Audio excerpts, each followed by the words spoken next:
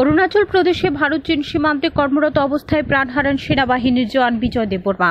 শহীদ জওয়ানের মরদেহ বিশ্রামগঞ্জের গুলিরায় বাড়িতে নিয়ে যাওয়া হয়। শনিবার শহীদ জওয়ানের রাষ্ট্রীয় মর্যাদায় অন্ত্যেষ্টি সম্পন্ন হয়। রবিবার রাজ্যের বীর সন্তান শহীদ বিজয় দেববর্মাকে শ্রদ্ধা জ্ঞাপন করা হয় বিজেপি যুব মোর্চার পক্ষ থেকে। আগামী দিনে শহীদের পরিবারের পাশে থাকবে যুব মোর্চা। এই নির্দেশ মুখ্যমন্ত্রী ও বিজেপির প্রদেশ সভাপতির। এই দিন রাজধানীর আশ্রম চৌমোহনী এলাকায় যুব মোর্চার এক কর্মসূচির মাধ্যমে শহীদ বিজয় দেববর্মাকে শ্রদ্ধা জ্ঞাপন করেন। একই সঙ্গে লকডাউনের সময় সদর শহর যুব মোর্চার সাতটি বিধানসভা নিয়ে প্রত্যেকটি জায়গায় কর্মসূচি চালিয়ে যাচ্ছে। তুলে দেওয়া হচ্ছে দুস্থদের হাতে খাদ্য সামগ্রী। তারই অঙ্গ হিসেবে এদিন দ্বিতীয় মোদী সরকারের প্রথম বর্ষপূর্তি উপলক্ষে বনমালীপুর চব্বিশ ও পঁচিশ নম্বর ওয়ার্ডের শিশুদের জন্য খাদ্য সামগ্রী তুলে দেওয়া হয়।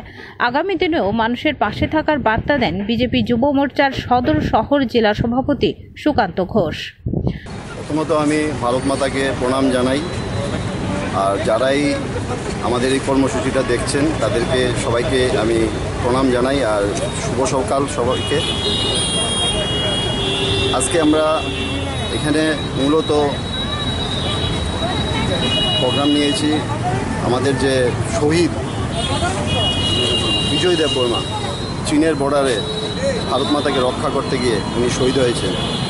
ওনাকে আমি যুব মোর্চার তরফ থেকে শ্রদ্ধা জানাই আর প্রণাম জানাই।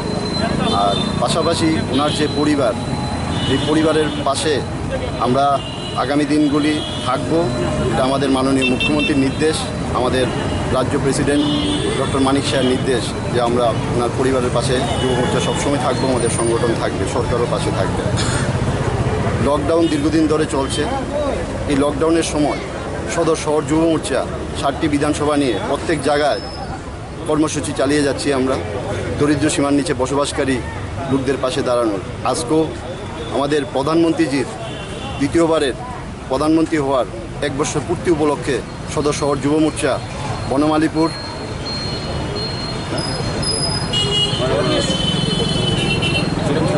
বনমালীপুর চব্বিশ নম্বর ওয়ার্ডে আর পঁচিশ ওয়ার্ড মিলে পঁচিশ ওয়ার্ড পাশে নিয়ে আমাদের যুব মোর্চার উদ্যোগে এই কচিকাচাদের জন্য আমরা স্বল্প আয়োজন করেছি। Bureau report Tripura twenty four into seven.